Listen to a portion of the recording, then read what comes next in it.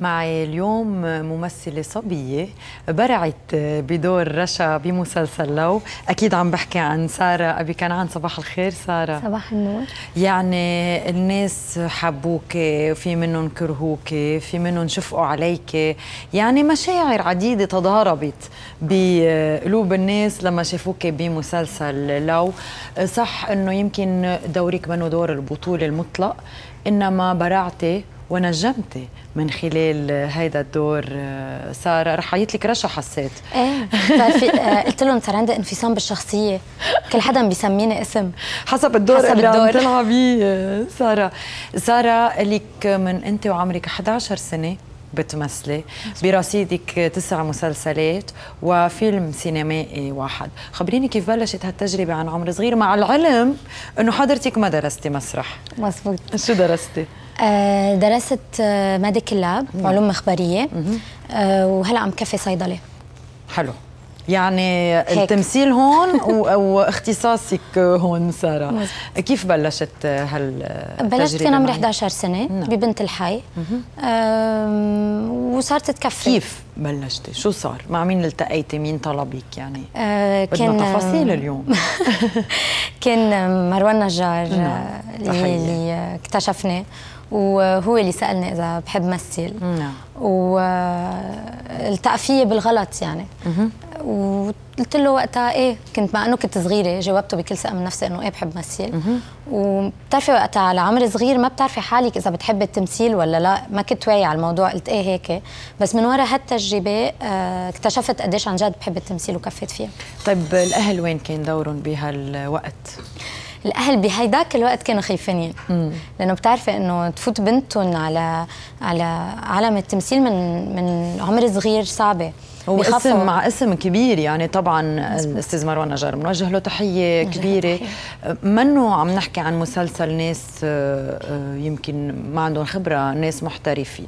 مزبوط مم. بيخافوا بهالعمر ما بنتهم تتشتت أو مم. مثلا تقرر إنه بدها تترك علمها على الآخر أو إنه تحس إنه خلص هي الحياة اللي بدها إياها نعم رح نحكي بالتفصيل عن دور الأهل لأنه والدك عنده دور كبير بالموضوع لكن رح ناخذ وقفة قصيرة وبنرجع أوكي.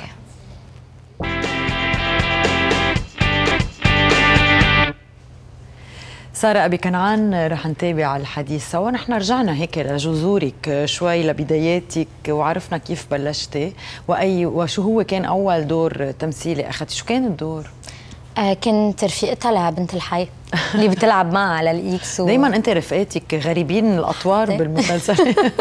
دايما رفيقة حدا بس هالمرة لو كنت أخت كنت اخت بس باتهام كنت رفيقة كنت رفيقة البطلة البطلة أيضا وكمان برعتي بمسلسل اتهام. ف وقلتي لي صار عندك هيك آه، شخصية مزدوجة لما بتظهري بين الناس. بعيطوا لك رشا بعيطوا لك سمر آه، سهى. ولكن ما بعيطوا لك ما بعيطوا لي باسمي.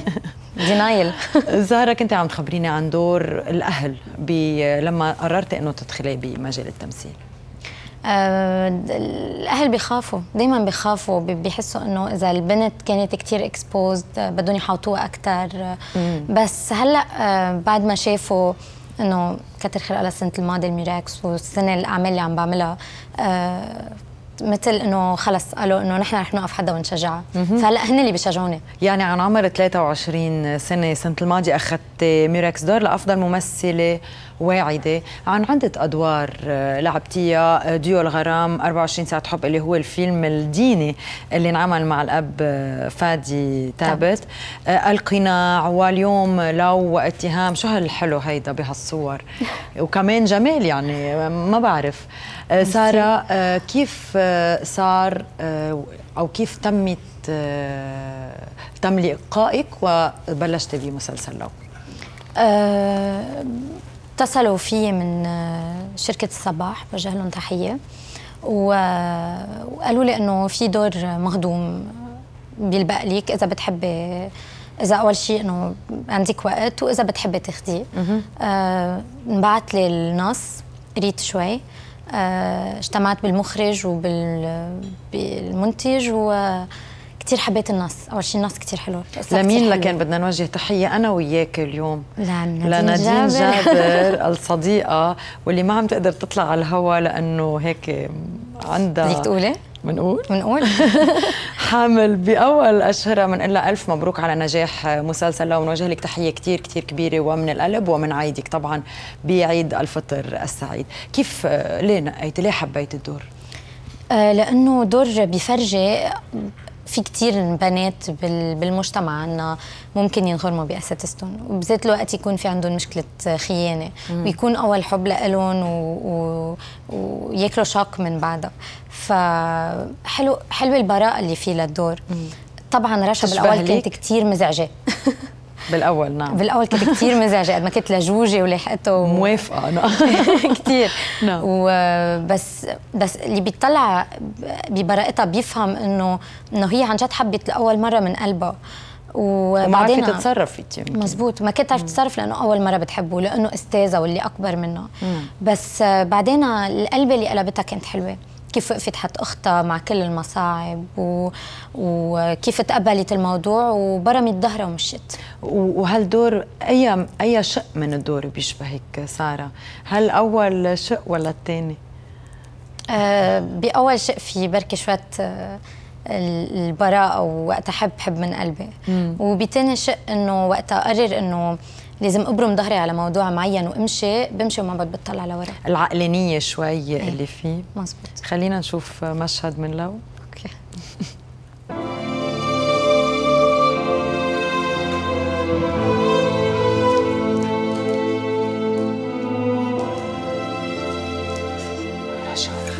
بعد عني. انت السبب بكل شيء عم بيصير فينا. تفسري لي؟ شو بدك تفسري لي لعندك شيء تفسريه؟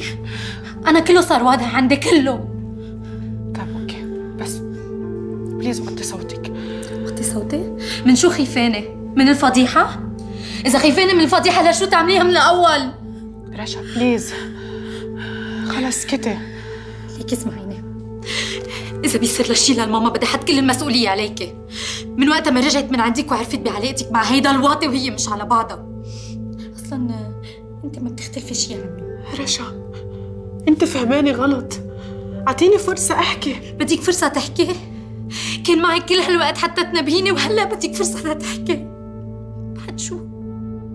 بعد ما شفتيني عم بفوت واظهر معه وأنت ساكتة؟ قلت لك تتركيه. قلت لك 100 مرة اتركيه بس أنا ما كنت قادرة أحكي أكثر من هيك.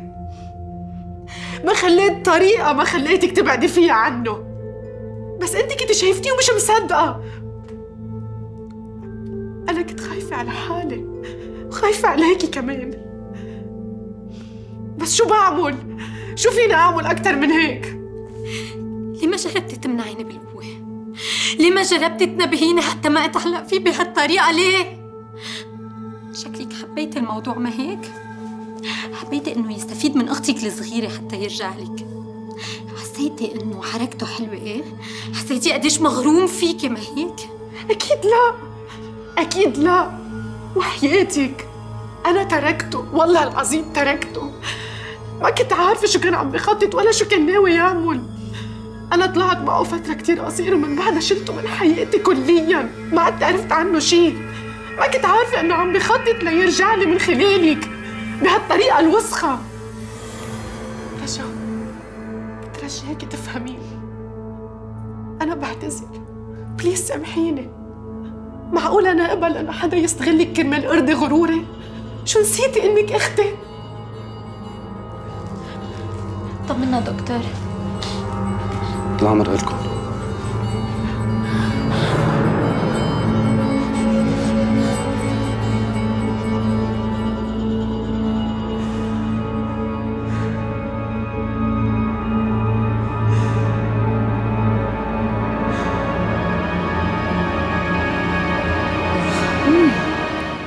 ما فرجونا إياها عم توقع لأنه على فكرة مشاعرك واضحة من عيونك. يعني بنشوف هيك آه، عجقة مشاعر بعيونك بهالمشهد بالذات اللي كان كتير كتير معبر.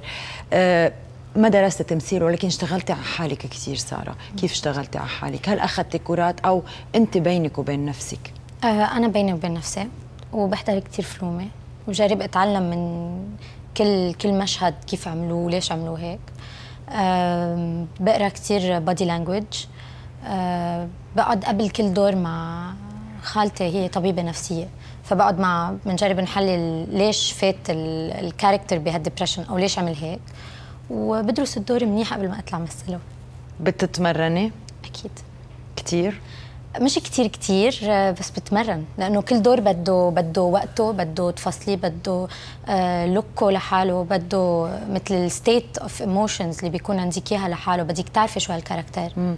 سارة لما بتخلصي من دور معين آه، بيأثر فيكي بيأثر على حياتك على نفسيتك؟ يعني هل بتاخدي يمكن وقت بتقعدي فيه لحالك من بعد المسلسل؟ أو بتحسي إنه تغير شيء فيكي؟ بعد كل دور بحب اخذ وقت لحالي تقعد لأنه آه، الدور كتير بياخذ منك بياخذ كتير منك ايموشنز بياخذ كتير منك آه، هالبكري بدك تبكي هال طاقة. ه- طاقة الطاقة كلها بتروح نعم. بالمسلسل فأكيد بدي وقت لحالي أكيد بدي رياحة بعد المسلسل بس إنه آه، ولا مرة اضطريت آه، آه، فوت ب depression من ورا character. معين. إنه ما صارت معي نعم آه، بحب وقت أمثل خلص دوري أطلع منه أنسى شو صار سارة كيف عم تعيشي نجاحك آه، اليوم؟ يعني عم بتصيري معروفة وجهك صار معروف هل هالشي هيك في إشياء تغيرت بحياتك الاجتماعية؟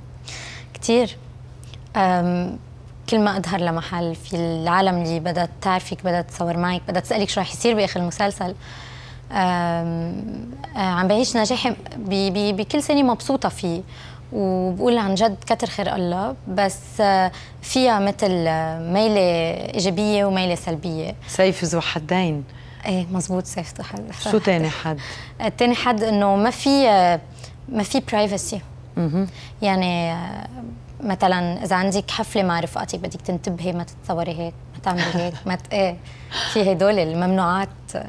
وبدك تفهمي بالنهاية لأنه في عالم بتتمثل فيك في عالم ناطرة منك كثير فبتكبر مسؤوليتك بتخافي؟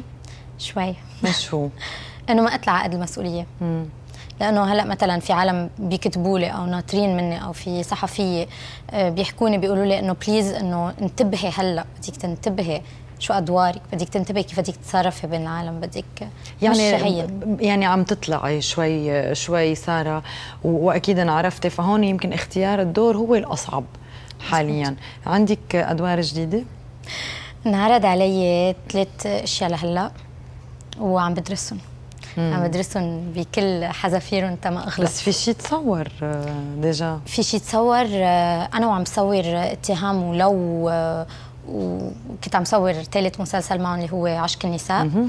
آه عشق النساء أنا في بس ضيفة خاصة. مني مني لعبة دور كبير. آه هو كان المفروض ينعرض قبل آه مس- المسلسلين اللي هلأ عم بينعرضوا على رمضان نعم.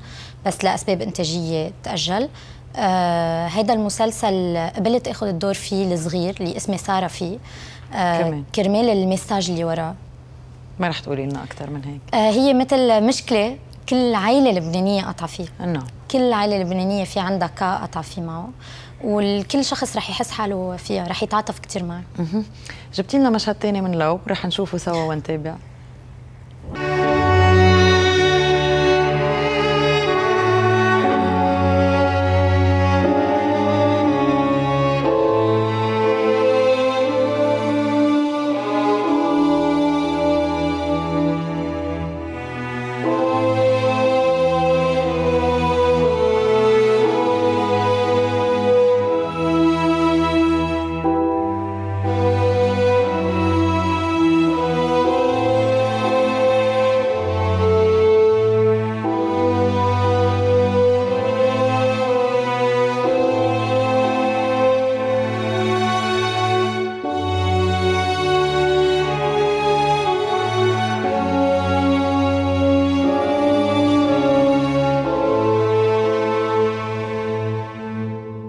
بعتذر أستاذ غيث بس طبيا نحن مش طالع بإيدنا أكثر من هيك. يبدو إنه الورم صار له فترة طويلة. مزبوط.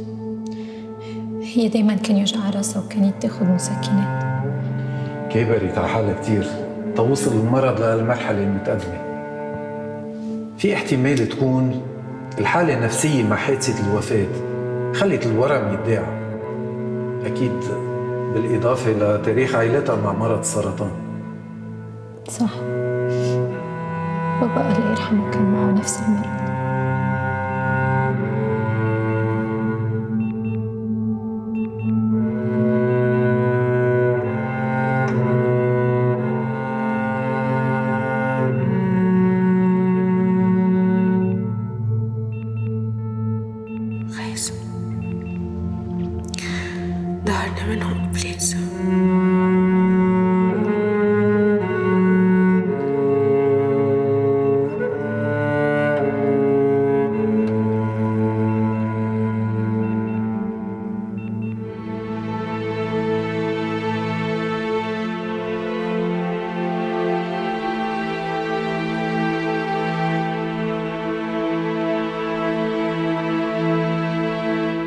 بعتقد وجودها بالمستشفى ما راح يفيدها بشيء بما انه مصرة ما تعمل كيمو ولا تعمل العملية أفضل شيء ترجع البيت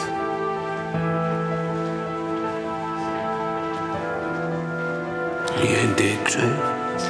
أنا بترك الخيار للمريض هلا يمكن يحكمها شوية وجع من وقت للتاني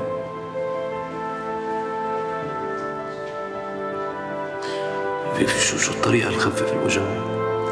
ما رح أعطيها إلا مسكنات أنا برأيي إنه مساعدتها النفسية والتعاطف معها أهم من كل الأدوية التقليدية.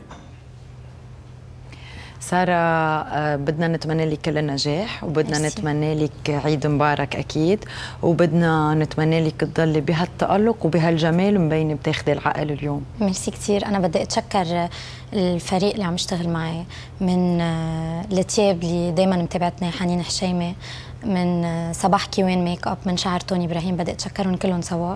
هلأ هن طبعا عم يعملوا شغل حلو كتير بس أنت حلوة كتير أصلا. كتير. موفقة سارة أبي كنعان أهلا وسهلا فيك. ميرسي لك مشاهدينا رح نتوقف مع break ومنتابع عن TV live